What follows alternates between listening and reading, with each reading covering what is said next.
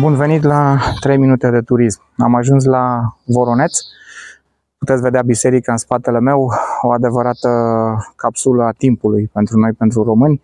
Spun asta pentru că conține foarte multe picturi, foarte multe imagini ale obiectelor folosite pe vremea lui Ștefan cel Mare în secolul XV. Vorbesc de plugul cu care ară Adam, vorbesc de tulnicele folosite de îngeri în anunțarea judecății de apoi, de decorațiunile băncilor, ale ștergarelor celor trei, uh, Abraham, Isaac și Iacob.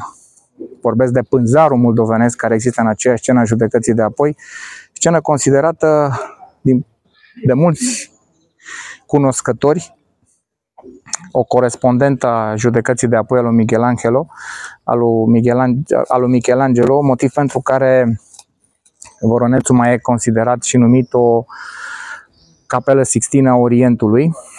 Din punctul meu de vedere, fresca judecății de aici, a pictorilor necunoscuți de la Voroneț, e mult mai aproape de ceea ce înseamnă o icoană, pentru că Michelangelo pune foarte mult accent pe corp, nu pe uh, sufletul care ar trebui să transceadă din icoanele, din icoanele creștine. E o biserică construită la 1488 de Ștefan după ce îi bate pe tătari la Lipinți și uh, este una dintre cele mai frumoase de aici din Bucovina.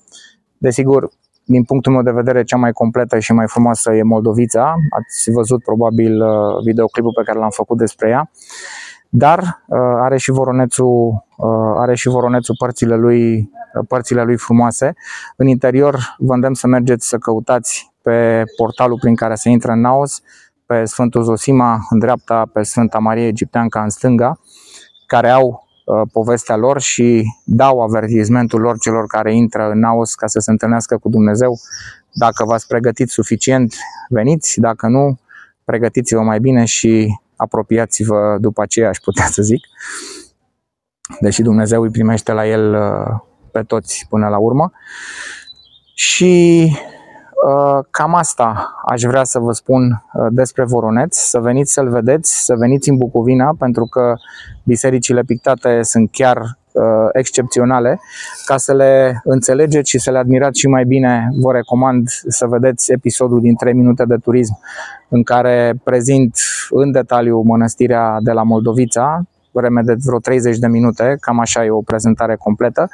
Și la finalul acestui video am să vă pun un link de legătură către un alt video în care prezint de data asta Voronețul în detaliu, pentru că fresca judecății de apoi nu e doar plină de culoare și de personaje, ci fiecare scenă are importanța și însemnătatea ei. Acestea fiind spuse, vă mulțumesc încă o dată că m-ați urmărit. Vă îndemn să urmăriți, să dați urmărire canalului Danira Travel de pe YouTube și să mergeți vara asta să vizitați România pentru că avem ce vizita și nu uitați să intrați din când în când pe 3 minute de turism pentru că vara asta o să vedem, așa cum spuneam, foarte multe locuri și e păcat să pierdeți uh, să pierdeți videourile de prezentare. Mulțumesc și vă urez drumuri bune prin România!